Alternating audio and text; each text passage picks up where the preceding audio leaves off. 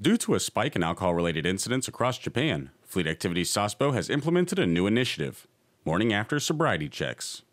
My question to our sailors, our civilians, you know, do you really know what your, your blood alcohol content is the next morning after having a drink? If you're unsure, uh, take a cab, get a friend to drive, walk, uh, because our security forces are going to be checking, um, and it's just not, not worth it. Not worth your career, not worth the expense, not worth putting everybody else's life in danger because you're, you are operating a, a vehicle impaired. And that can be the very next morning, even if it's been a couple hours since you've had that last drink. I think it is good that uh, we're out here doing this, keeping people safe. You know, the last thing anybody wants to get a phone call is someone dying in a alcohol-related incident. Petty Officer Zachary Hale, Fleet Activities, Sasebo, Japan.